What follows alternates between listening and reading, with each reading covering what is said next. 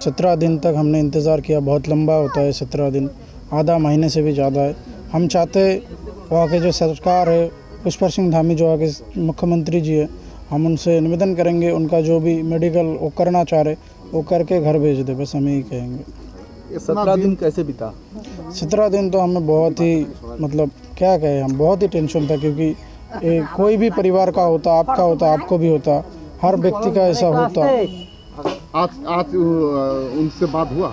नहीं हम बात नहीं कर पाए घर में सबने बात किया हम बात करेंगे अभी थोड़ी टाइम बाद कॉल करेंगे। कैसा है वो? हाँ वो तो अच्छे है सब बताया भैया ने बताया भैया है वहाँ पे तो उन्होंने कहा अच्छा है।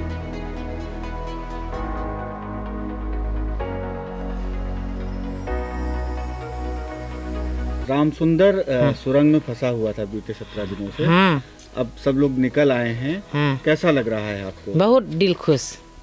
हाँ बात हुई राम सुंदर से? बात हो रहा है निकले हैं तो।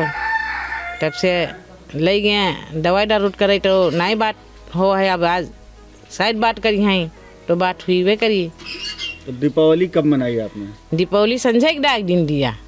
सब डागेन गोला तमाशा सब हुआ, सब खुशी खुशी सब सभी गाँव भरी के लड़के आए गए, सब डागे भैया हमार लाए गोला, सब चीज़ सब बढ़िया से खूब खुशी से दिल खूब मनाए हन। समझे के निकल गए कह के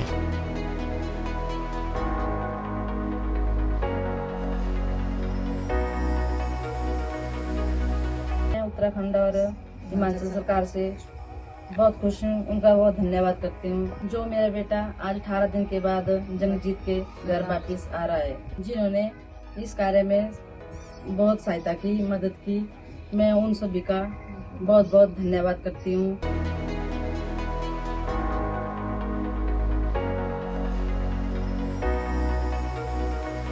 सत्रह दिन का बाद जो इसे उद्धार हुआ है मतलब मेरा लड़का निकल आ चुका है। तो एंबुलेंस में उनको ले गया गया है।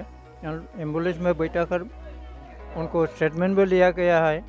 तो वो बात सुन के मेरे दिल में ऐसा आनंदित तो लगा है मतलब बोल नहीं सकता है। तो इसलिए मैं इतना धन्यवाद देना चाहता हूँ, भारत सरकार और हमारा असम सरकार, यानी बी सरकार से मेरा इतना ही।